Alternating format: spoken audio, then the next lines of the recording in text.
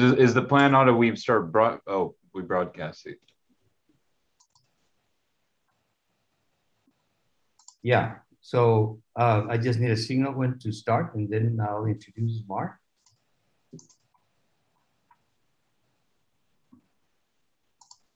Okay. Um, let me admit Librero and uh, Conceição, and I guess you can start. okay.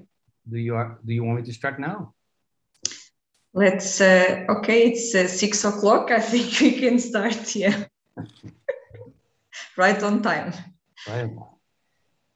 Very well. Uh, dear online audience, uh, my name is Otto Benavides.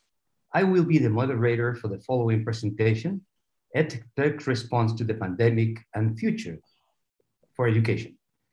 This will be the second of five presentations. ICEM in association with the Polytechnic Institute of Santarém, uh, School of Education, uh, Portugal, is very happy to offer the seminar week online. The Polytechnic Institute of Santarém, School of Education has invited five outstanding speakers uh, to share with you current topics of education and technology. It has been ICEM's tradition to offer an annual conference in a selected country every year. Unfortunately, due to the current uh, worldwide health situation, the on-site conference was not possible. Therefore, we are offering this educational experience online. We would like to thank each one of the speakers who have graciously agreed to share their knowledge with you. Today, we have the honor to introduce Mr. Mark West, uh, who will discuss the EdTech response to the pandemic and futures for education for 40 minutes. At the end of uh, his presentation, the audience will have an opportunity to ask questions. Uh, please type your questions in the chat box. Questions will be answered in the sequence order uh, until the time allocated for this session expires. Thanks for your participation and thank you to the Polytechnic Institute of Santarém, School of Education in Portugal, uh, for organizing this wonderful event. Uh, Mark West works uh, uh in, in, UNESCO in the education sector. Uh, he has done a, a lot of uh, work and has written many reports and done several missions with UNESCO. he is a good friend of ICEM, and from time to time, I like to embarrass him. So if, you don't mind, I am going to share just a little thing, uh, a, a, little bit of uh, an event that Mark participated in.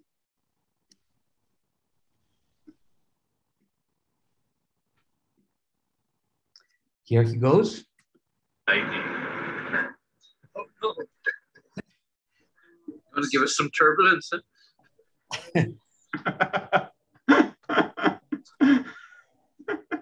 oh. so he, he is a true uh, pilot, uh, and uh, so now he has even that experience. He is flown in the air. Very good. Uh, so, uh, Mark, uh, anytime that you're ready, you can start. You can share your screen and start the presentation. Thank you very much to the audience, and thank you, Mark, for being part of this event. Wonderful. Th thank you so much, Otto. And if I had known you were going to show that clip, I would have uh, worn my aviator sunglasses. That was that was not embarrassing at all. Looks like I'm flying a Boeing Boeing airplane. It, um, was, a Boeing, it was a Boeing 777. That's right. A, a new one, a big one. Um, and that for, for everybody was uh, the last in-person ICEM conference, which we had in uh, at the University of Memphis in, uh, in Tennessee in the United States.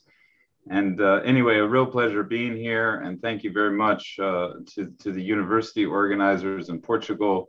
Um, always a pleasure to to speak with uh, with an organization and and a, a, group of people so committed to finding ways to make technology work for education.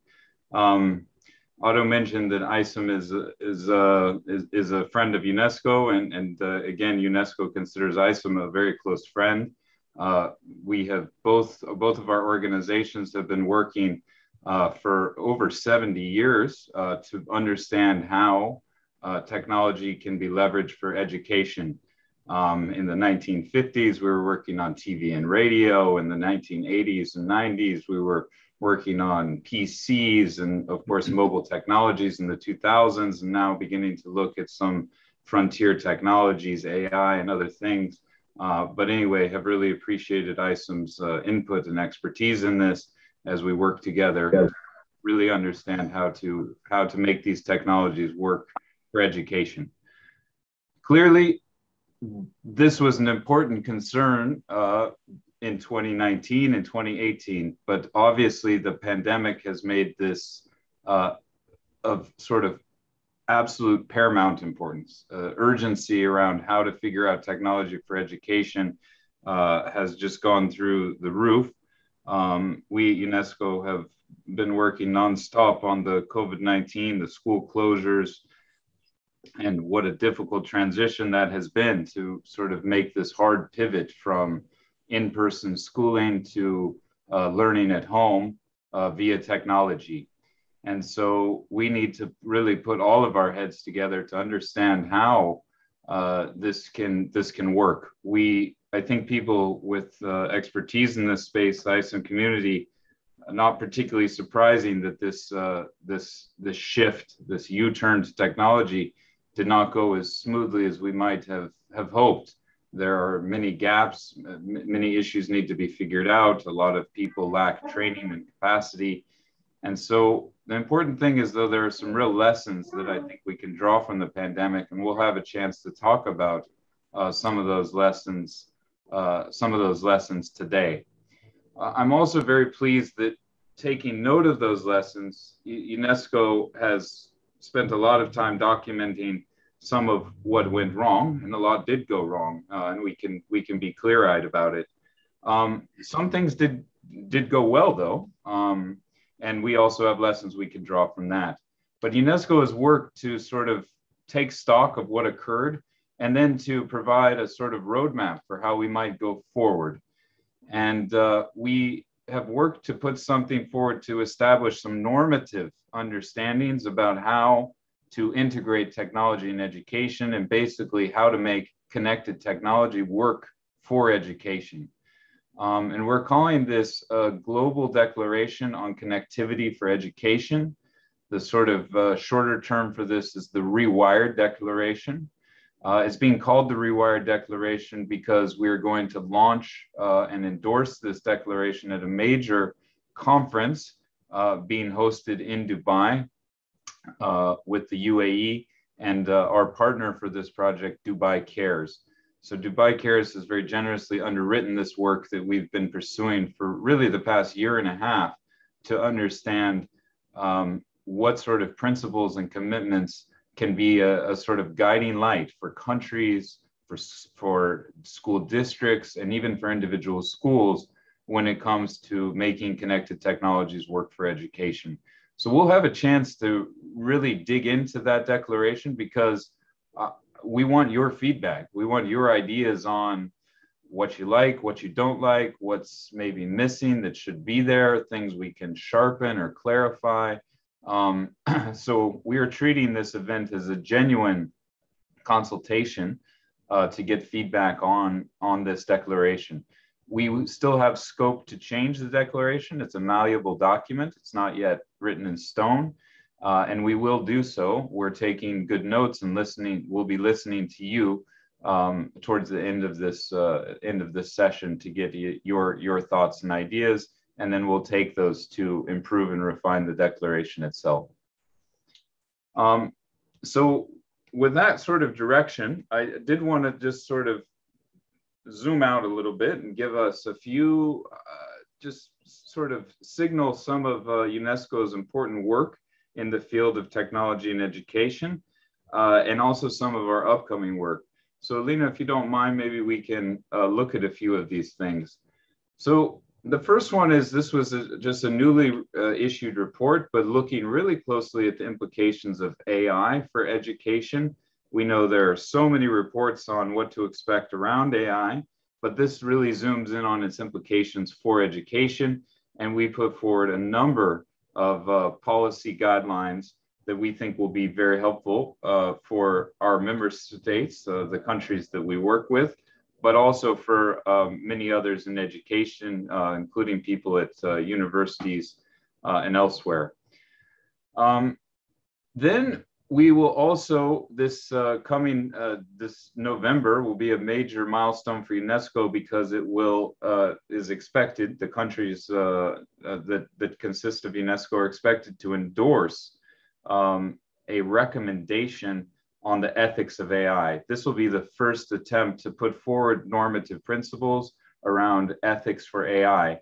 This document is not specific to education, but it, it, mentions education a lot and talks a lot about the uh, educational implications of AI.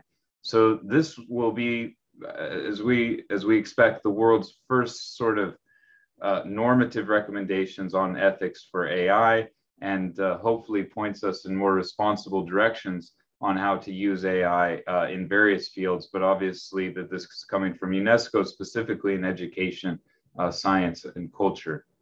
Um, so a couple things to look out for, the AI and education guidance for policymakers, this is already published, and the recommendation uh, on ethics of AI expected to be endorsed next month, but the text is already out there um, and being circulated. So um, if you're curious, uh, can take a look. Uh, next slide, please, Alina. Some of our forthcoming education work uh, we have a, a, flagship report about the future of education coming out uh, on November 10th. Uh, this is in conjunction with UNESCO's General Conference. So this is held once every two years. Uh, countries and ministers of education from around the world meet at UNESCO.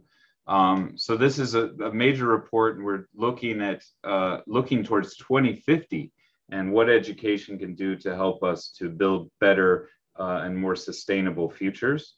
Um, also, uh, towards the very end of this year, we will be putting out a report that really backs up and looks at what happened during the COVID 19 pandemic and the shift to EdTech. Uh, we're, we're positioning this as a, as a tragedy to the sense that um, it did not fulfill expectations despite uh, you know tremendous work from a lot of different people you know we saw that that the shift to edtech uh, really widened a lot of divides that had existed before the pandemic and um, sort of heightened inequality in education and also, frankly, excluded uh, huge numbers of students. We'll have a chance to speak a bit more about that publication. And then finally, in December, is the launch of the declaration that I mentioned, the Rewired Declaration. And this is, again, our attempt to sort of help establish a new orientation and a new approach uh, to using Connect Tech connected technologies for education. Uh, thanks a lot, Lilina. Uh, next slide, thank you. So a little more on this, um, I'm gonna just zoom in on those three things we talked about, a little more on the, the futures of education work. So this work um, is being steered by an International Commission. That commission is chaired by the president of, uh, of Ethiopia. And it is basically lo looking at ways that education can help us build a better future. So while many reports about education look at sort of the the hows and ways to improve efficiency and ways to improve quality, this report really backs up and looks at the whys of education. What is the purpose of this whole enterprise? What might the purpose be? What could the purpose be? What should the purpose be uh, of education? And then going from that, what should be the organization of education and the processes of education. And this report really points out uh, some things that I think are very important. One is it, it points out that we have an education system that is clearly not working for us in terms of sustainability. Some of the work coming from different UN bodies and other international organizations on what's going on with the climate uh, and uh, also with um, you know mass extinction of, of different uh, biological life forms you know very very frightening and why is it that education is not leading us to greater sustainability? Um, and this report really spends a lot of time kind of grappling with some of those questions. It also has a section that deals a lot with uh, with technology and sort of uh, the relationship between education and technology. And it, it speaks too to some some emerging problems, uh, uh, polarization uh, that we're seeing around the world, uh, and also the sort of great, you know, the many uncertainties surrounding the world of work and how to prepare people uh, for, you know, productive, uh, productive careers as well as preparing them uh, for, for life and, and society. Uh, next slide, Elena. This report falls within a, a, sort of long tradition. UNESCO has, has produced these uh, visioning reports about the future of education every 25 years or so. So in 1972, we had the Faure report, uh, Learning to Be. This was a sort of seminal report. It was read uh, in education schools around the world and again, really looked at, you know, what should education be doing. That was, uh, again, in 1996, the, the Delors report, uh, led by Jacques Delors, uh, again, looked at sort of, uh, looked at education, again, a very different moment in the 1990s, um, and decided to sort of announce that there were four pillars of education. Again, many people who've been through any sort of education training recognize these four different pillars. So, Alina, next slide, please. So this report is our update to this. And uh, rather than being sort of chaired again by a, a French man, it was uh, chaired by the president of Ethiopia.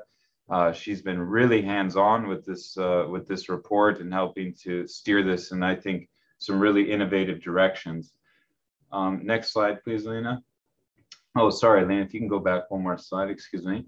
I just wanted to say also that the, the Futures of Education report calls for a new social contract for education. So understanding that education, while based in in laws and you know legal organization and other things and, and formal structures, education is also based on many informal understandings what parents and people expect education to do what they expect from schools and teachers uh, what schools and teachers expect from students how people interpret their sort of work.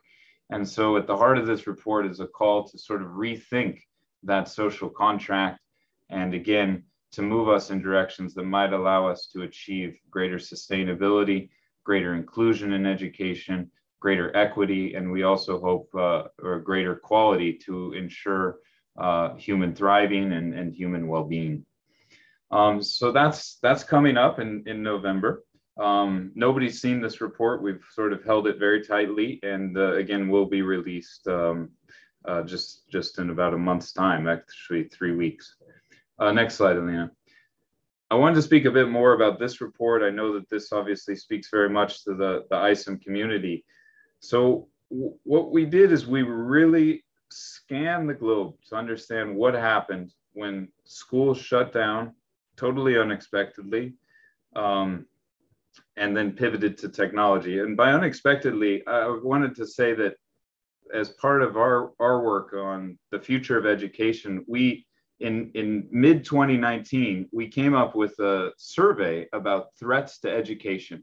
And we literally had, I'm not joking, probably a half day brainstorm with education experts across UNESCO to come up with, with, with what we thought were the most prominent threats to education. We came up with all sorts of things. We had a super long list. We sort of carved the list down. Guess what was not there at all? Pandemic. uh, so, I mean, it also shows you how unknown the future is, if you know what I mean, and how unpredictable it, it, it can be. Um, but we we didn't we did not expect or anticipate that. It's a it's embarrassing to say with with hindsight. Um, but anyway, so this totally unexpected shift, schools closed down around the world, and all of a sudden, ed tech is you know in the spotlight. It's on. It's it's sort of the only recourse to help students uh, remain connected to education. And so we really looked at how how that went. You know how how that went in you know the the the richest neighborhoods in in in Paris and London and New York and Hong Kong and and uh, Singapore to you know what also happened in you know very poor rural areas in India and Bangladesh and in uh, places like Sudan. I mean, really tried to understand you know what what happened and what that meant for students.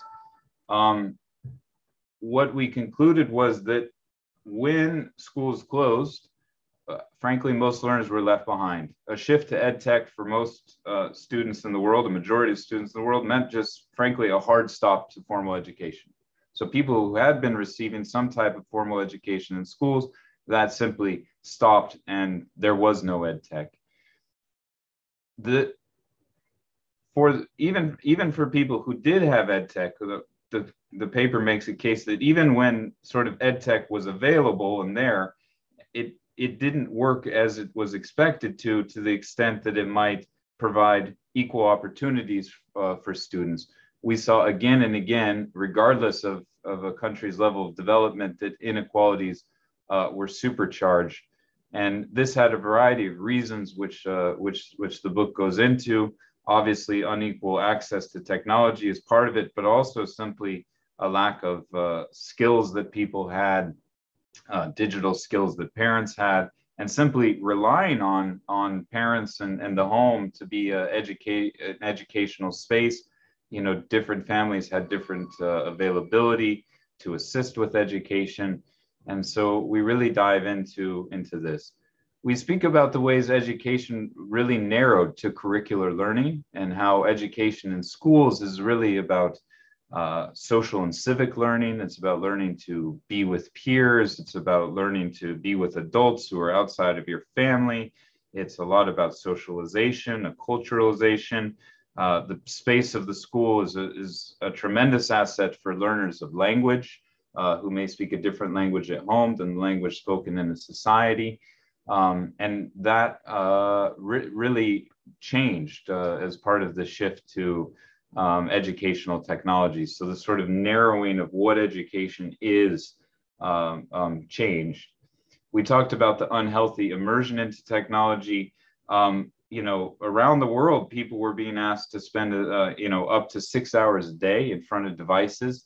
Uh, you know, sort of mirroring the school experience. But uh, you know, is that a, is that a good decision? And what were students doing when they were online? I think some people saw this sort of uh, leak of Facebook documents, but what really caught my eye was Facebook's own internal documents were targeting that uh, teenagers, including young teenagers, their target time for those people to spend on Instagram per day was between two to three hours. That was the corporate goal, um, you know, of one platform. There were many other competing platforms, you know, competing for the eyes of of teenagers and young people understanding that once you hook in a young person, you sort of they're likely to become, you know, longer term users of of, uh, of a particular application or a particular utility.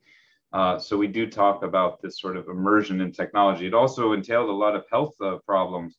Um, we saw instances of in in very wealthy countries where the closure of schools coincided with uh, an increase in obesity and diabetes Whereas the opposite problem in, in uh, developing in poor countries where schools had been a site of nutrition um, and uh, you know a healthy nutritious meal. And when schools shut down obviously there was no technology equivalent for a meal and uh, many people were, were undernourished uh, during the pandemic.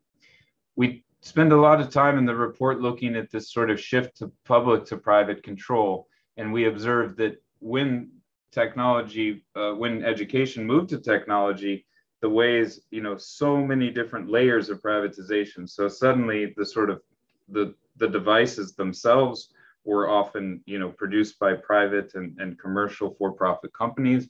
But then the, the sort of network, the way that education was beamed out or teachers could work with students was also you know controlled by um, you know network operators so whether those are mobile providers or providers of, uh, of, of internet. But then even the spaces of education were often corporately controlled, whether those were synchronous meetings on Zoom or meetings on platforms like Microsoft Teams or Skype. You know, those were proprietary uh, proprietary spaces, um, and the sort of platforms themselves where people would find resources, places like uh, Google Classroom or other comparable sort of applications and utilities uh, also tended to be commercially held.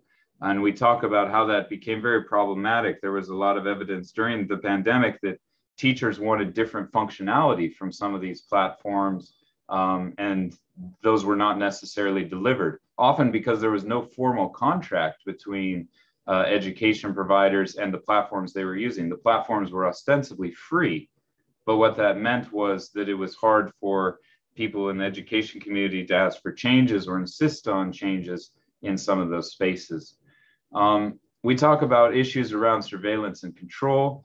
Um, we talk about how EdTech, you know, allowed for sort of unprecedented levels of surveillance where you would have, you know, teachers being able to see everything from the number of keystrokes people enter. I don't know how many of you have ever seen what's capable, of the back end meeting of a Google Meets meeting, but you can see the uh, the, the you know the voice activity the that was the, the the power put into the microphone of a student. I mean it really allowed for an incredible amount of you know sort of data. How much of that is useful for educational purposes is a is an open question um, so sort of new concerns around surveillance that had existed obviously prior to the pandemic but really heightened during the pandemic as a lot of education and learning moved into the home we talk also about issues of, of control and sort of who was in control of these platforms. We talk about issues where, you know, in the past to eject a student from a class was, uh, you know, it took some work. Uh, if I wanted to throw uh, Otto out of my class, you know, Otto might be able to uh, to object and say, no, you know, Mr. West, I, you know, I didn't do anything wrong, or he would have some recourse, or there would be peers involved. But when education shifted over to technology, all it took to throw Otto out of the class was a you know a click of the button. Uh, so anyway, these sort of very you, you would do that. Thank I would you. never I would never do that. Otto's going to throw me out of this meeting right now. um, but again, somebody is in, in control of our meeting here and can let participants in or out or mute me or mute somebody else. It's a you know it's quite quite a lot of control. And you know what does that mean to the sort of democratic space uh, for education? So you know some really interesting you know questions that arose.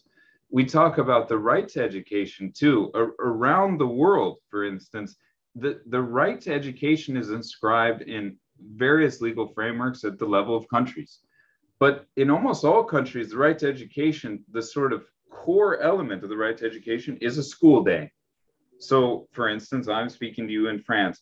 In France, the law prescribes that students receive a certain number of school days per year, and there should be a certain number of school days per week and per month and per year. And the state has an obligation to deliver free and compulsory education for that number of days. Well, when education shifted to EdTech, what was a school day? It wasn't very clear.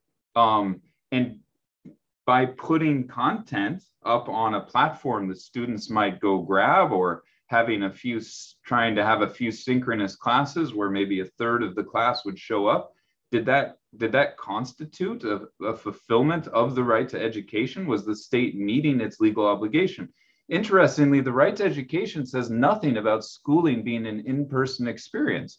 It's always been assumed that you know the right to education was inscribed uh, almost you know over 50 years ago.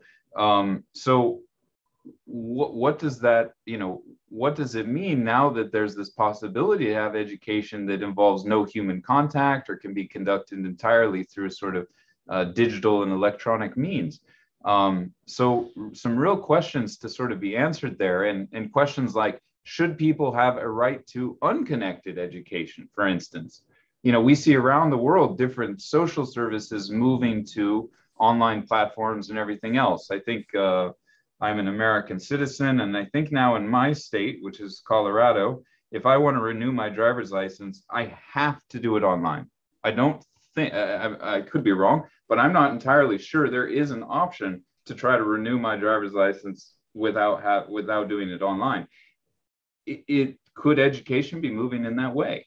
do people have a right to unconnected education? I don't want to use the internet, or I feel that my students should, you know, be able to experience schooling as an in-person experience. These are all sort of issues that need to be ironed out, and you know, they've been in the background before, but COVID really brought them to the surface in a big way.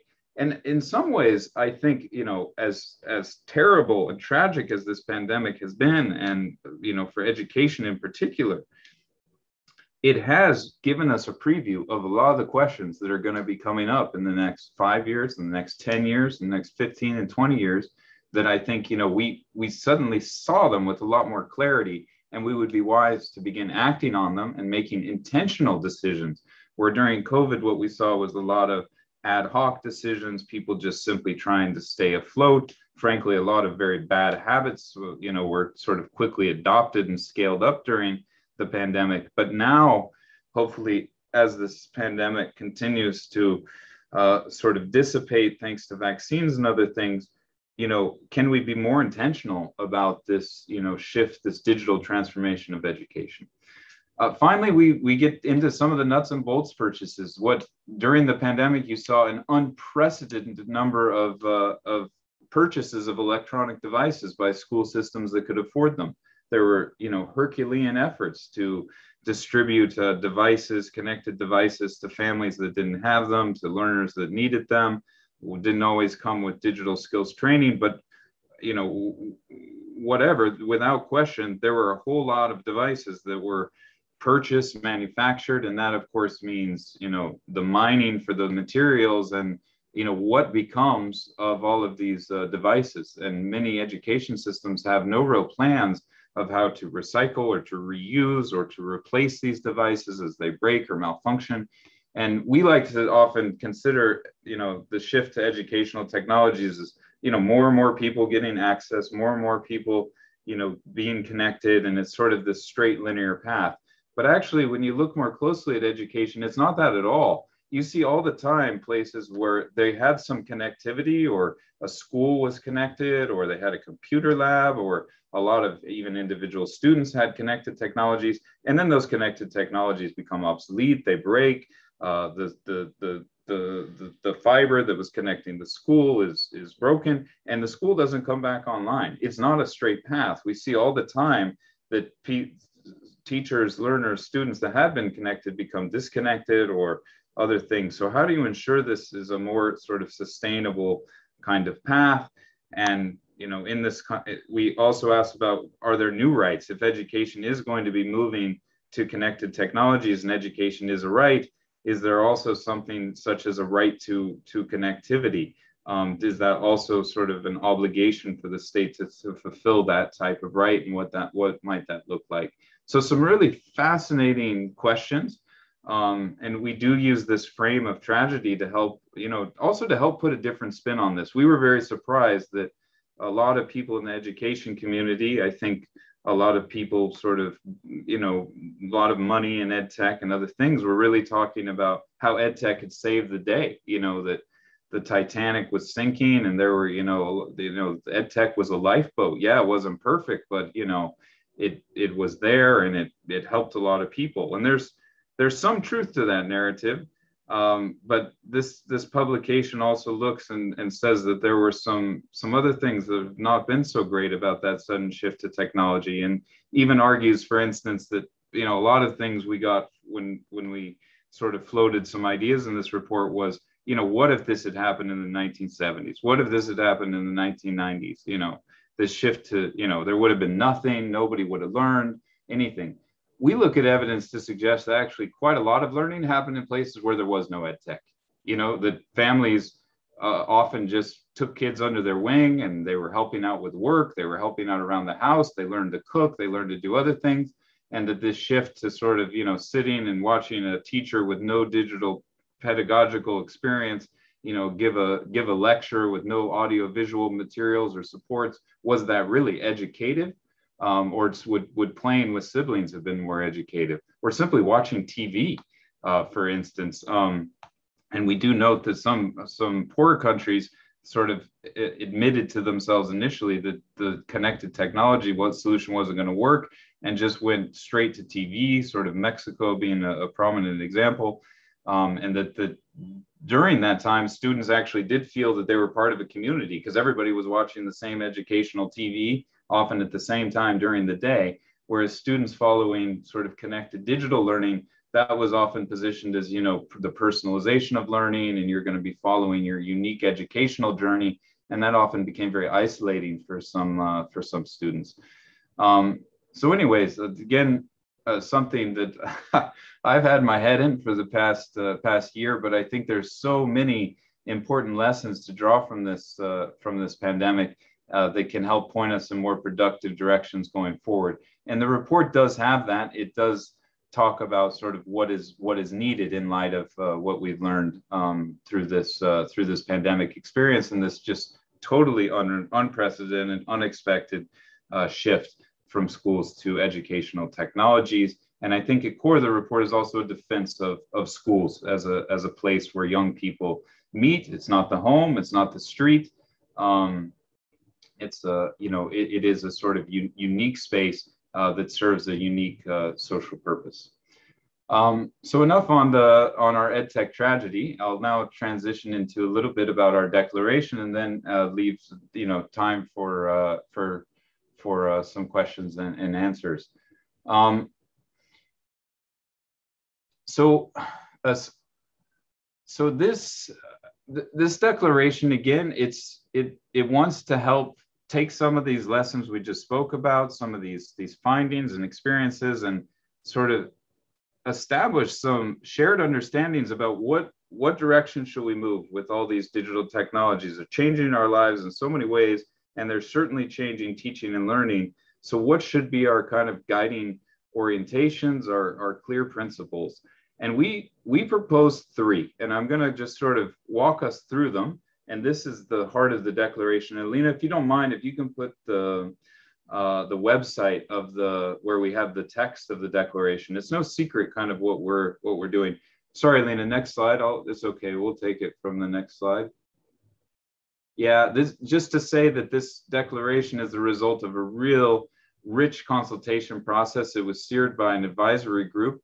Uh, these are the advisory group members, but uh, 22 different sort of experts in, in, in ed tech uh, coming from different UN organizations, but also civil society groups, teacher groups, uh, private sector representatives. So we really wanted this to reflect a lot of different opinions.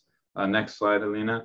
And we're now going through this sort of consultation process where we're meeting with uh, all the different regional groups um, for UNESCO's member states. So uh, for instance, later this month, we'll be meeting with, uh, you know, the group of Arab states. We'll be meeting with uh, the group of group of states from Asia, from Latin America, and presenting this uh, this text, getting their feedback on it, and then taking that feedback on board and probably making adjustments to it. But just to say, we're consulting with lots of different groups, not only governments, uh, but but civil society organizations, researchers, youth, uh, teachers and other kind of key stakeholders uh, in this process. And we also want to consult with you, of course. Um, so if we can get the next slide, Alina. Great. So again, I'll just move through the move through our principles. So there, there are three principles and then some underlying commitments. So principle number one is center the most marginalized. And I know that doesn't sound like anything particularly novel, but that definitely did not happen during the pandemic. During the pandemic, the student that was centered was the student that was already connected, the student that already had digital skills. Uh, that was the student that was reached, and that student was often already privileged in a variety of different ways. So if we want to have any hope that a shift to connected technologies or you know the increased digitization of, of education you know can increase opportunities for all and not just lead to greater sort of polarization of opportunity, uh, we really do need to think about ways to, to center the most marginalized. How is this going to work for a student who doesn't speak the language of instruction? How is this going to work for a student whose family has no digital skills or very low literacy skills? How is this going to work for a learner who may be a refugee and not have a not have a you know not not even have a, a stable home environment at all? Um, doesn't have a place to, to store things you know, those issues need to be really thought through. They were not uh, through very well, with rare exception, during the pandemic. And so, how can we begin to center the most marginalized? And we argue that if you center the most marginalized, then you have the possibility of coming up with models that are going to be more inclusive and more equitable and will also work of course for people you know who are very privileged um, you know but but also be working for people who are facing different types of disadvantage um, so the commitments under this are just to ensuring that the connectivity does reach all learners. Uh, our estimates were that connectivity, again, when you really looked at the sort of fine grained numbers, that it didn't even reach half of the learners in the world. this wasn't just because of connectivity. Most people were covered by some sort of network. It's it's almost well over 95% of the world is covered by some sort of pretty decent quality network. The problem arose with devices, with you know the the plans and the sim cards and and during the pandemic the devices just because a family even had two computers at home it didn't mean the students or young children were able to use those devices uh, for education um, we talked about the importance of sustainable financing for connectivity for education. This tends to not be a straight sort of budget item anymore in countries. When you look at this this is something that sort of gets really funded one year and then you know that's just sort of a one-off and let's connect those people and then we don't have to spend so much money. It's not true. It's just like the maintenance of the physical infrastructure of education. It's going to require uh, consistent and sustainable financing to ensure this connectivity for education um, we talked we, we talk also about these commitments to assure affordable options and this gets into the thing that we we see a barrier to connect connected education is just the sheer complexity around uh, around connectivity options. I don't know if any of you have ever shopped for a, a, a mobile uh, a mobile plan recently, but I have in Paris, and I was sort of you know presented with I don't know how many options. I think 30 or something. You know that could be this and this much data and this many free talk minutes and this many. You know, it was really baffling and confusing. And so, can we sort of uh, ask countries to come up with sort of very clear cut options for connectivity for education where there becomes a kind of you know i have a kid they need to learn through connected technology what's the bread and butter you know plain plan that will allow me to do that without all this uh, endless complexity fee structures and other things. Um, and finally we, we say that we hope that connected technology will not lead to an underinvestment in the you know physical infrastructure of school and schooling as an in-person experience. We hope it becomes a both and proposition rather than a sort of either or proposition. Uh, next slide alina. Thank you. Principle number two is is there needs to be good content and we saw during the pandemic that you know even if you had a great connectivity you had a you know really a, a good quality device and everything it didn't mean there was so much out there for you we were really baffled by how few countries just had, you know, any digitized educational content that was aligned with the curriculum. I mean, that would seem to be a very basic step, and many countries simply did not uh, did not have that available. So, for instance, what that meant on the ground is you have a a student who's in seventh grade studying math and studying science, studying geography, and it wasn't clear where you would go to uh, help help your your um, your your son or daughter uh, get information uh, about those uh, different subjects. What there was was this sort of hodgepodge of different options you know teachers sort of slapping things together and you know you go over here to this youtube channel for this and you jump over here to this other platform for that there was no real front door for education and this declaration really makes an argument that there needs to be a sort of public public digital space for uh, connected education, just as there's a, a public space for uh, in-person uh, schooling. The providing differentiated educational resources, again, during the pandemic, uh, you know, parents very quickly learned that there was not, you know, not information, not really information for them uh, on how to support the learning of, uh, of, of dependents. We also saw that uh, teachers didn't you know didn't have you know necessarily very good information about their students and their learning. There wasn't like clear platforms for for them. And so we hope that as this sort of develops that that be be really thought of and, and kept uh, front of mind uh, that different stakeholders need sort of different entry points um, for to support education and then the other idea is monitoring its adaptation. We saw a lot of instances where governments would sort of quickly throw together some digital content, put it out there, and then we'd ask questions about how's it being used, when's it being used, who's using it. They didn't have this information. I mean, this is a lesson to learn from you know commercial providers. No commercial provider doesn't look at this data. You know, they're looking at everything. You know, how many people how many people pinged us today? How long was the engagement? How long did people spend on this screen on that screen? And obviously, that data can help to build better educational resources and tell you what people are using, what people aren't using, and help uh, begin to you know, give clues as to why that might be the case and how you might be able to encourage different use and other things. So there really does need to be this sort of constant uh, monitoring and learning happening uh, from you know what what you're seeing on these uh, digital platforms and utilities. And finally, principle number three, um, this is about that. What we saw again and again during the pandemic is that the switch to you know a digital environment. I mean, think of how different this environment is than a sort of an in-person space we often just replicate the in-person space. I, I, think even webinars are guilty of this. You know, we, we pretend like we're in a in a in a normal lecture hall and sort of do the usual thing. But teachers did the usual thing as well. Um, they went and you know gave sort of lectures and you know did not adjust their pedagogy uh, except in rare instances um, to you know take advantage of some of the things that digital learning offered, but also to yeah to avoid some of the pitfalls. I put in mute.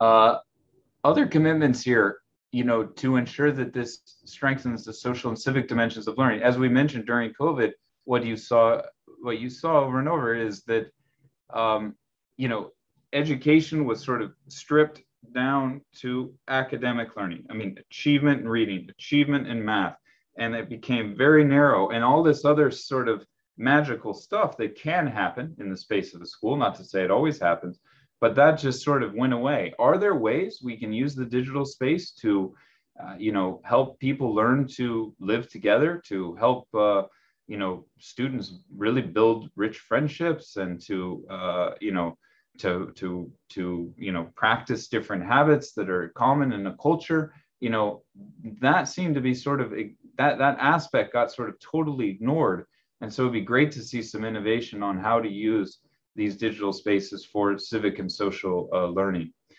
Um, we needed commitments for student and educator data. This went out. This went out the door in the emergency context of the pandemic. Uh, we saw again and again that there were very sort of loose, you know, regulations were not really in place before the pandemic about what, you know, how you manage student uh, and educator data. And uh, during the pandemic, there were, you know, all sorts of practices that, um, you know, on close inspection can be very troubling. And we're looking towards a future where, you know, a, a student who's starting school today might realistically have a super fine grained learning profile. You know, their scores on everything from how they did in, you know, their reading assessment first and second grade. I mean, even week to week, or you know their completion on digital platforms and all of that is being logged in some sort of uh, dossier that that is the dossier that's carried you know carried through their life.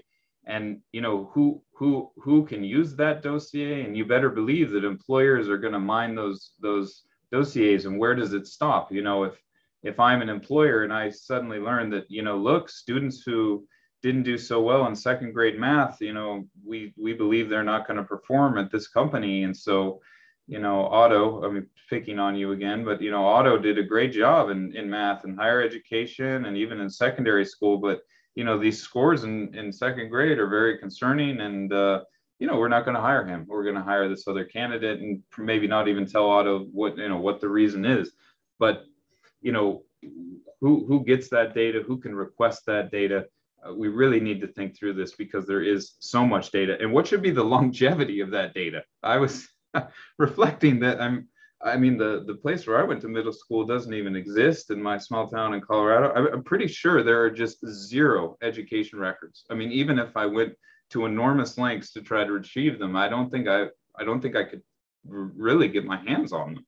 And maybe that's what we need some sort of phasing out. I mean this you know, aligned with this sort of right to be forgotten, you know, this uh, terrible year of school that somebody had in fourth grade, you know, can that just fade away as they enter adulthood? Should that fade away? Uh, what, what, what do we need to do? I think some really interesting questions here.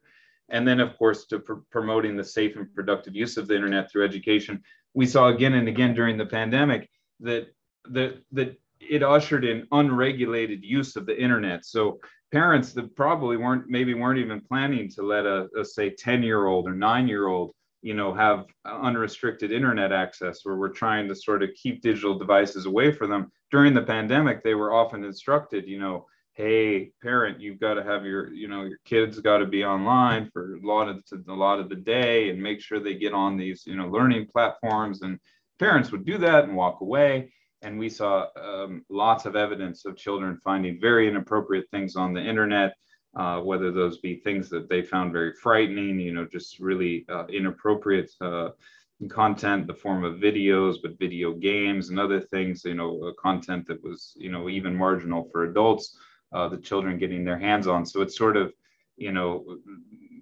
too, too much too soon um, in some instances. And how can we sort of avoid this uh, going forward? Um, I'll stop there. I'm sorry, we were supposed to have a little, little time for a question and answer, but anyway, that's uh, it for me. And we would be really grateful to have input on the declaration, um, these principles that, uh, that, that uh, we went through. So thanks everybody for all of your time. Sorry that was a bit long, but uh, a pleasure being able to address you. Thank you. Well, uh, thank you. I, I, don't see any questions in the chat, so I am just going to open the floor for anybody who wants to ask a question. Uh, just make sure to unmute your microphone so you can ask the question.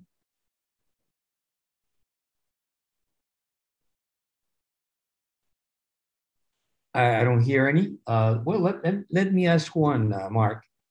You were talking about the role of the parents. Uh, that, that is a big concern to me because, uh, for several reasons. For, for one is because the parents may not be available at home. And the, the second is that they may not be cognizant of the technology. And thirdly, they are not very well aware of what the student is learning. So it would be hard for them to support them. Uh, so what, what are your thoughts about this? First of all, fully agree with you, Otto. I mean, this is, and this is why the, you know, we say these inequities were supercharged. You know, students with low educated parents didn't have the same opportunities when, you know, education moved over to ed tech into the home. And uh, you know that parents really struggled to support uh, to support their students and often felt a tremendous amount of stress or felt like failures because they you know they they understood the that their their children might be falling behind as a result of you know their inability to sort of help facilitate this uh, this distance learning that occurred. And you know what what's the solution for that?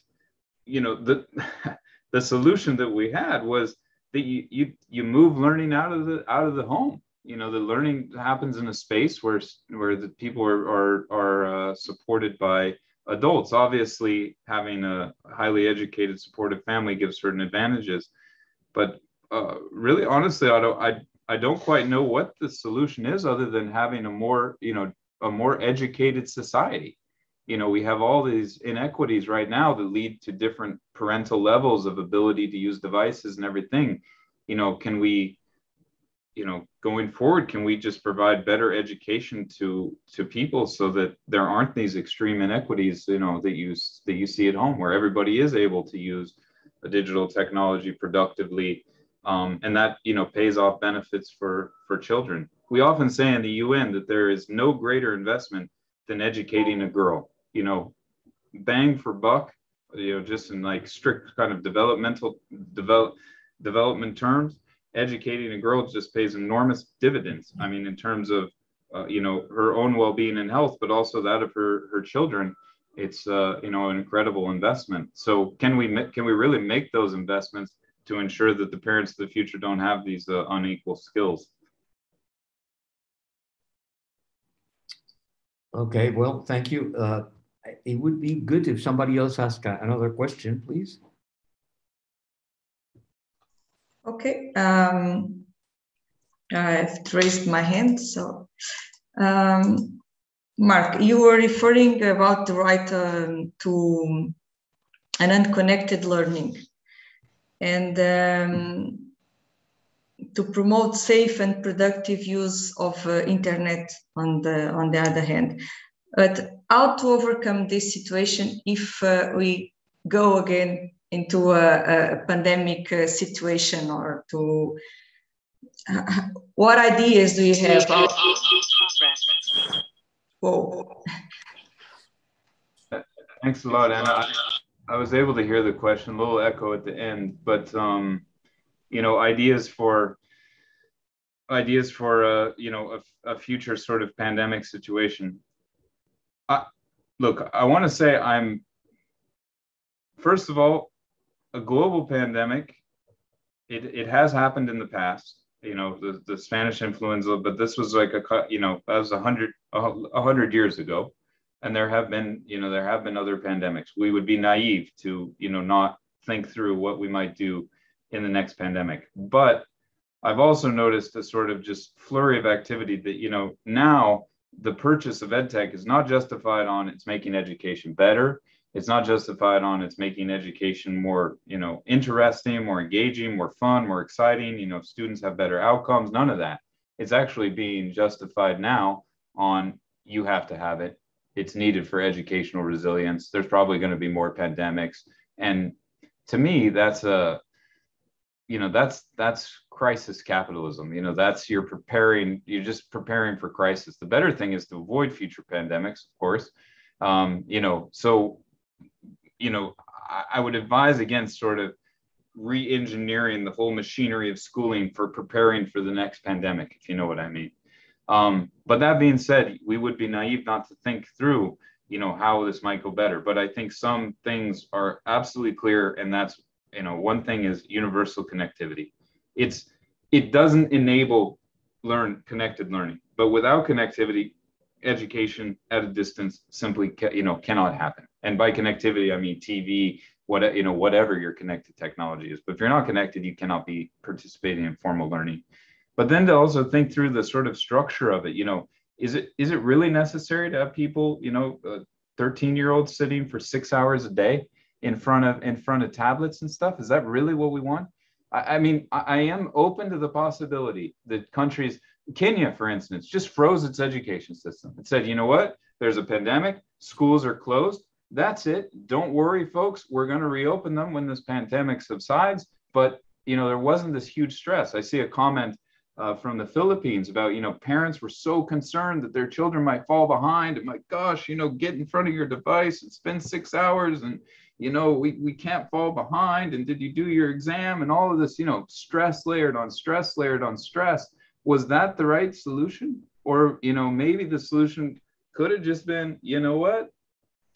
We recommend that you read to students. We're going to be doing some, you know, book depots where you can come pick up children's books, even books without, you know, any words and just pictures. It was great if you spend time with them. Politicians sort of imploring parents to do educated things with students in the household know, I'm open to the possibility that that might have might have gone better.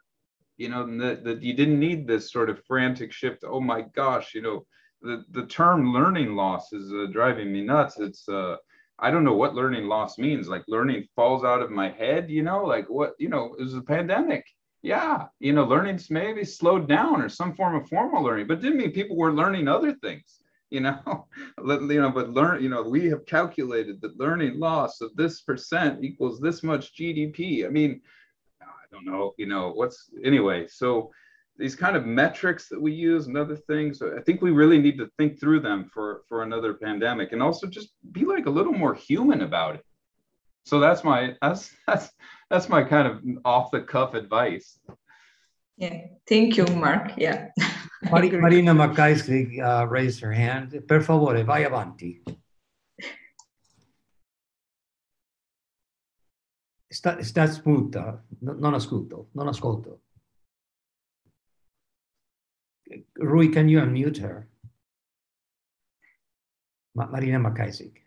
You're muted. You're muted, Marina. Marina. Okay, thank you. Um, Mark, thank you for that presentation. That was just great uh, really interesting, especially interested in the declaration that I guess you're doing with uh, Dubai. And you said that more information, and thanks, Alina, for the link for that, that uh, there'll be more of a report uh, on that at the end of December. Is that right? That's that's when the report will be, or the declaration will be endorsed. But we're we're accepting input on it until the end of the November. And you see there, there's a link for you to just you know write write your feedback and let us know what you think, or you know ideas to improve it we're we're, we're listening mm-hmm. great thank you Thanks a lot, Marina. Nice to see you. you it's good to see you too. It's great to have, you know, I haven't heard your reports for maybe you're a couple of years now. So uh, thank you for that. It's really yeah. nice. Yeah, well, you're crystal clear on my screen. Anyway, it feels like you're in the room. nice to see you. Good. It's nice to be with you. Any anybody else? Another question, please. We have a lot of uh, teachers in the room. I don't know. Maybe they could give some inputs also for this conversation. It'd be great to hear from them. I, I really like hearing their perspectives. Um, can, can Ray, you... Ray is raising his hand. Okay, Ray. Yeah. Hi. Uh, thanks, Mark. Um, two things that I, I just wanted to mention um, to comment on about your presentation, which kind of hit home for me. As I said, I have I have four kids myself, ranging from 18 to to 11, and for for the eldest of them, who's actually studying technology anyway, so he has his his bat cave downstairs. You know, he has his computer set up. Um, for him, at the start when the pandemic started, it wasn't such a change to actually start doing stuff from home because a lot of the stuff he would do online or on computers in school anyway. Um, but you mentioned also the social aspect of it. And that for him was the biggest change because when he would come home from school in the evening, you know, he would get down to his bat cave and he would do some of his homework and then he would play his games with his friends um, or, you know, do something for fun online. Um, that all changed after about a month because he no longer saw his little bat cave as his escape place anymore. He now associated that with work and with school. And so it was very difficult for him now to, to how should I say, to differentiate physically anymore. He used to, like, he travels 45 minutes to school. So, you know, you'd physically change location from your home to your school and you'd leave school again and you can leave it in your mind just like people who go to work go to a physical office and come home again. Um, in his case he found it really difficult and i could i talked to him about it. Uh, he no longer looked forward to going down to the room anymore because when he turned on his computer it was he was thinking of school again and he was thinking of work Hmm. again. And he he no longer had this differentiate this clear differentiation let's say. I mean of course they overlap um, they still overlap but the it was imbalanced for him and he didn't know how to to deal with that uh, and that was that was an issue. So i was just wondering if you if you had any advice on that. Uh, and the second thing was just a comment. Um, i translated a report here recently. Um, from an educational institute here in Austria, and they did a survey to find out after or during this pandemic now how to proceed because they within two months they had to put all of their stuff online, everything, which they pretty much succeeded at. Um, but of course, they wanted feedback, and it came out that um, students wanted altogether a 60-40 divide. So they want 60% face-to-face with 40% online. So that was the end result of what came out of it. Um, now, having said that, that wasn't for young students, that was mostly for adults who are already working somewhere. But they wanted 60% face to face and 40% online. So I just wanted to give you that statistic as well. But yeah, I'd love to hear any comments you have about uh, this idea of separating the school physically from, from the home. Yeah, thanks a lot, Ray. And I'd love to, if you can share that uh, study, it would be great to see it. We we certainly missed things, but sounds really interesting that result that came in from from Austria.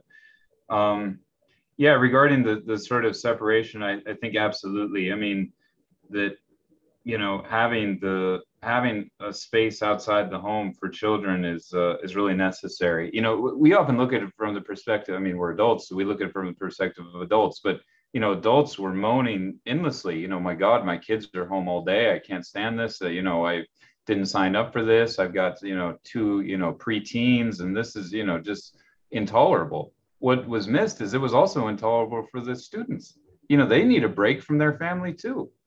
Um, and you know that that gets into you know kind of ha ha funny stuff but also i mean for for a lot of students school is a it's a place of protection. You know what's going on at home is uh it, it can be can be really you know really bad or dangerous for students or abusive to students you know and school is a break uh, from some of that. And so I, I think the importance of having you know a place outside of the home. The other thing is that you know schooling systems don't always like to say but you know schooling systems are an engine of acculturation. You know they they teach things like nationalism that are important to governments and other things. And if your education is just purely unfolding at home how do you build a kind of shared uh, culture whether that be a local culture or a national culture? You know that becomes really tricky because the home environment will be the cultural environment. Not to say there's not a culture of online spaces but i would argue that it just doesn't have the same pull and effect as a, as a sort of in-person experience does, especially a prolonged in-person experience like that, you know, year after year, day after day. Um, and so, you know, it raises a lot of very interesting questions. Uh, it's telling that around the world, I mean, homeschooling is is sort of illegal, if, if I may. You know, in a lot of places, you know, parents have to have very special permissions and reasons to do homeschooling. They need to have a teaching credential in order to, to, you know, have their students that are homeschooled. I mean, the, the state is alert to the fact that you know students need to have this sort of experience that you know brings them into communities and other things. Not to say the space of the school is always emancipatory or something but it's not surprising to me that your your son was feeling you know this uh, you know also this new relationship to technology.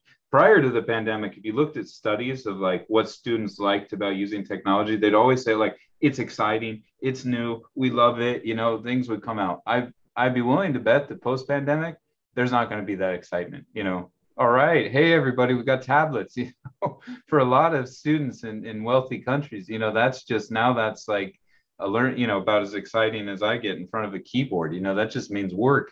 Um, you know, but for for a lot of people, it had been a space of kind of play and uh, exploration and other things. I mean, it it can and should be both maybe but i'm not surprised that you know people you know you view your house differently when you're working at your house. You view your house differently when you're going to school there. Um, and so i think those you know those issues became apparent. We didn't talk about all the issues around you know the video lessons and students having to there's a lot of evidence students having to look at themselves you know in this chat. I'm staring at myself as well as staring at you you know wondering why my hair is turning gray and blah blah blah.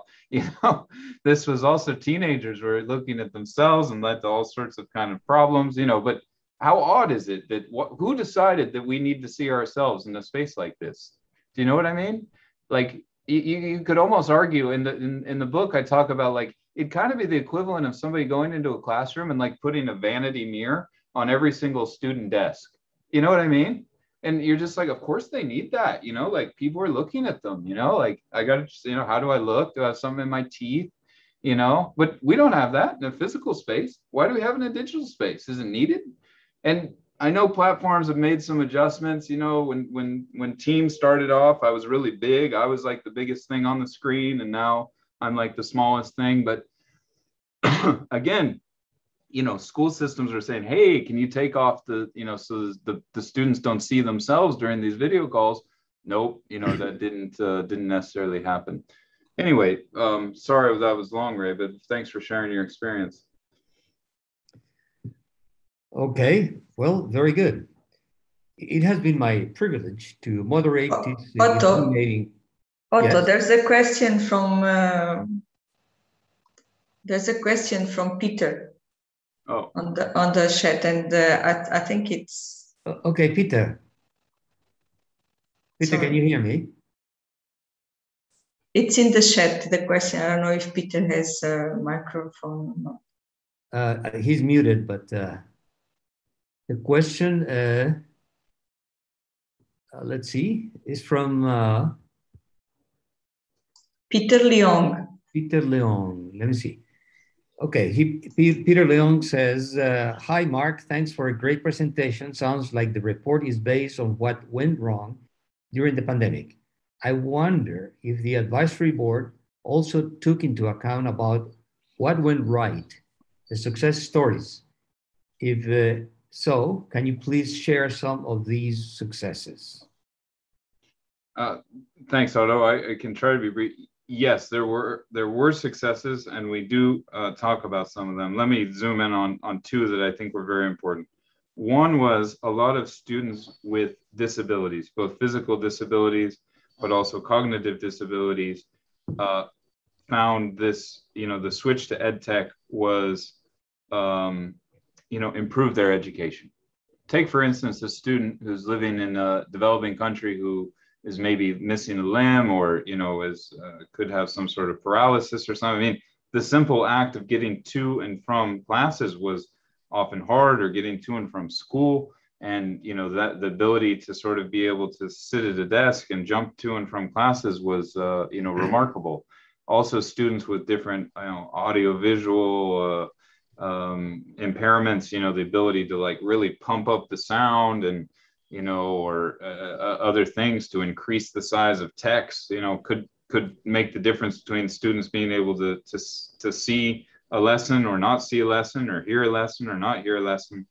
So i think there's you know a lot to to to reflect on about how um, you know it allowed for sort of in some sense more inclusive educational practices. While there was lots of exclusion for some people it, mm-hmm. it became you know education uh, became more inclusive um, another group that i think had a good experience are, are frankly students who um, found the space of the school to be, uh, you know, demeaning. They were bullied in some way. They were, you know, uh, an oppressed minority. They were, you know, uh, taunted at school. I mean, a lot of people have experienced, you know, the, you know, the bullying and other things are really terrible. In my experience, a whole lot of people who are really enthusiastic about ed tech uh, often had very bad school experiences, you know, and they, they see this as like a different route that other young people could avoid these horrible experiences they had in school. I find a lot of people who are in ed tech,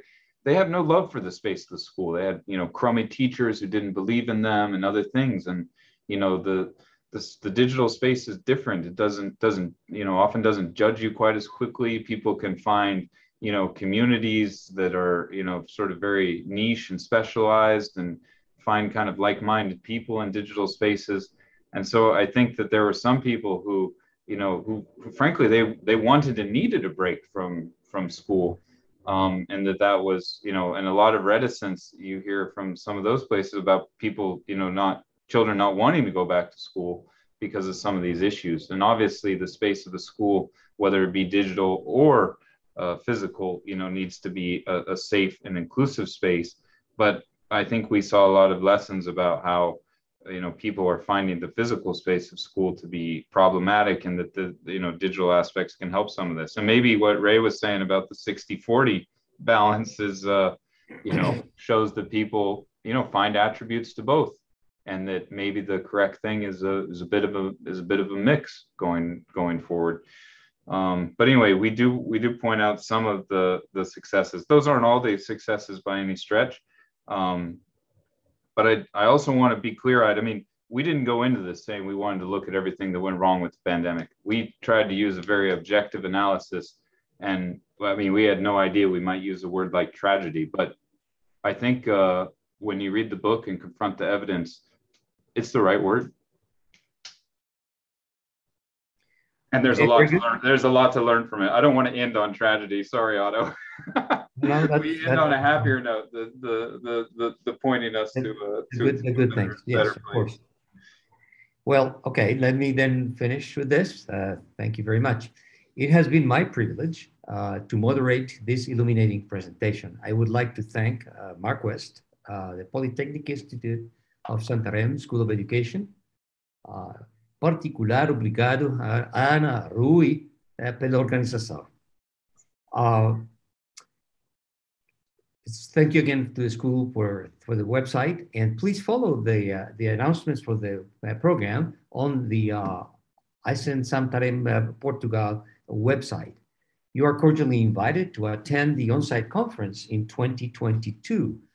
Please check the ICEM website, that's isem.education, for the announcements about the time and the place of the 2022 conference. Uh, we are pretty sure that we're going to be in Santarém, but we have to accept or uh, after we talk to Anna, if we have it in, in presence there, and we will announce it at that time. Uh, thanks for your attendance and participation. Uh, grazie per la, la, sua partecipazione. Uh, obrigado pela participação nesta sessão. Uh, e uh, spasiba za ukajasti uh, esta sessi. Uh, goodbye. Hasta la próxima. Next time, tomorrow. Au revoir. Au revoir. Au revoir. Auf Wiedersehen. Auf Wiedersehen. Goodbye. Thank you, everybody. Thanks Thank, again thank time. You, thank, thank you, Mark. Thank, thank you, Otto. Thank, thank you, you